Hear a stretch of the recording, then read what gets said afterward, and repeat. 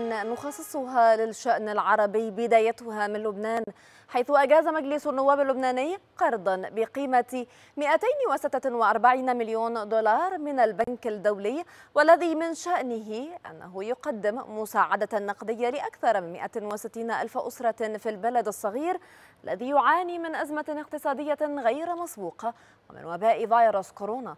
نظم متظاهرون لبنانيون مسيرة احتجاجية كبيرة من أمام مقر وزارة الداخلية وحتى وسط العاصمة بيروت بالقرب من مقر مجلس النواب بساحة النجمة احتجاجا على تردي الأوضاع الاقتصادية والمعيشية والغلاء المعيشي. أبدى المحتجون ومعظمهم من التجمعات الشبابية والطلابية والمجتمع المدني غضبهم الشديد إزاء تدهور المتفاقم في الوضع الاقتصادي وتداعياته على الشعب لا سيما جراء التراجع السريع في سعر صرف الليرة اللبنانية مقابل الدولار الأمريكي.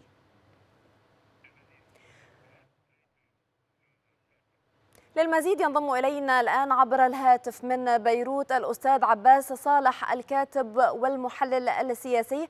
أستاذ عباس بداية أرحب بك في هذه الجولة من الآن. يعني تدهورا درام يعني دراماتيكي كبير يشهده اليوم تشهده اليوم الليرة اللبنانية أمام الدولار. تنعكس بشكل واضح على مأكل ومشرب المواطن اللبناني إلى أي مدى يمكن أن تصل الأزمة الاقتصادية في لبنان إلى أزمة أمنية؟ نعم أسعد الله صباحكم وصباح المشاهدين الكرام أعتقد أن ما بلغته الأزمة الإسلامية غير مسبوق نهائيا وبالتالي إن الانهيار الذي حصل على على سعر صرف الليرة اللبنانية أمام الدولار الأمريكي ينبئ بأزمة اقتصادية كبيرة جدا تصل إلى حد أن أزمة جوع حقيقية ممكن أن يعاني منها اللبنانيين في ظل الشح الواضح في طبعا في العملات الأجنبية وفي العملات عموما والتضخم الكبير الذي طرأ على الليرة اللبنانية بحيث أن الموظف لم يعد يكفيه راتبه بيومين فقط إذا ما يعني تمت المقارنة وفق الدراسات والقواعد العلمية والمنطقية. هذا ما حرك بعض اللبنانيين بشكل تلقائي ودفعهم إلى الشارع ليعبروا عن غضبهم وابتعادهم الكبير من مما بلغته الأمور ولا سيما هذه الطبقة السياسية الفاسدة بمجملها والسارقة بمجملها الكبيره الحكام بمجملهم من المتفقين ليس هناك أي فئة سياسية تتعاطى في الشأن السياسي اليوم ليست متورطة بالسرقات وبالتقاسم وبالتحاصص والتحصص المعلن والذي بات على يعني يتم على شاشات التلفزة التلفزة من دون حياء ومن دون خجل.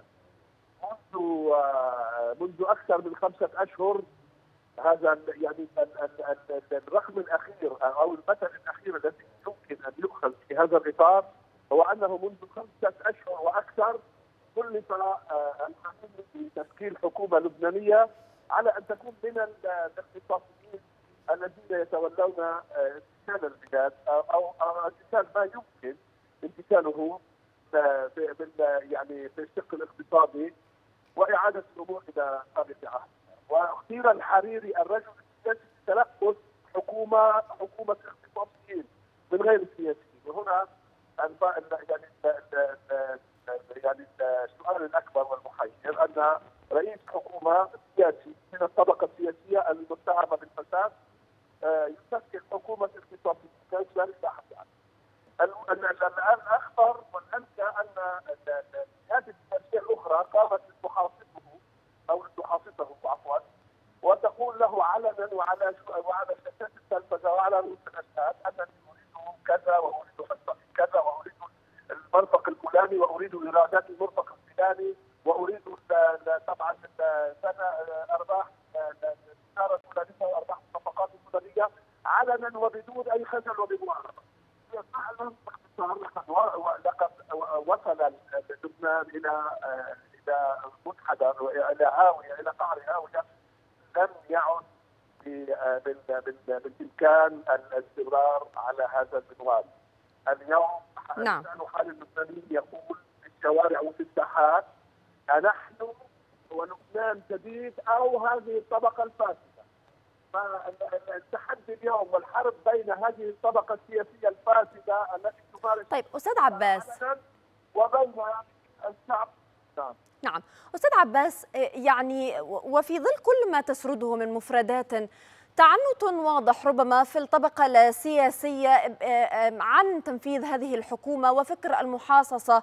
من ناحية أخرى ضغوطات كبيرة دولية تتعرض لها هذه الطبقة السياسية للاستمرار أو لإكمال هذا الاستحقاق وما ينتظره الشعب وتشكيل حكومة اختصاصيين. من الداخل اللبناني أيضا يعني شهدنا ربما كان مؤخرا خطاب بطريرك الكنيسة المارونية والذي طالب فيه ب أو أعلن فيه على وجه الخصوص عن ضرورة عقد مؤتمر دولي برعاية الأمم المتحدة لضمان حياد لبنان وجهات أخرى رفضت هذا الخطاب.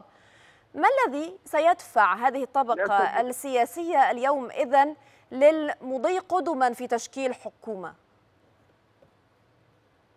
يا عزيزتي لقد وضعت فعلا اصبعتي على بواقعه الحقيقي الواقع الحقيقي أن كل شخصية وكل آه شخصية سياسية وكل فئه سياسية آه تحاول أن تفلسف الأمور على طريقتها تكسب المزيد من الامتيازات. النظام السياسي التحصصي القائم على التحصص منذ أن أقر اتفاق الطائف في العام 1990 البطرك الماروني آخر نموذج في هذا الإطار هو أن يطرح التدوير بطريقة تناسبه شخصيا ولا تناسب المجتمع اللبناني. ليس هناك فئه لبنانية ضميرها حي يمكن أن تطالب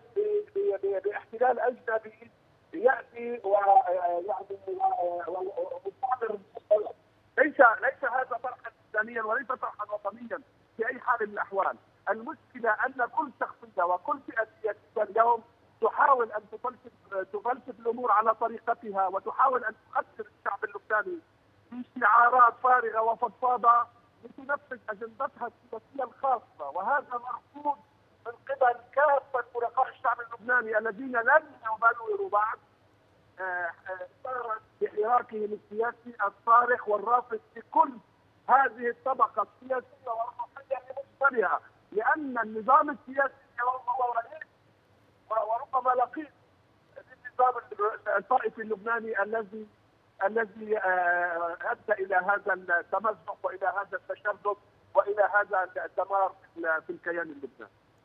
طيب أستاذ عباس يعني منذ عام 2005 تقريبا لم تشهد لم يشهد لبنان حكومة اختصاصيين وكانت كل الحكومات قائمة على فكر المحاصصة ربما.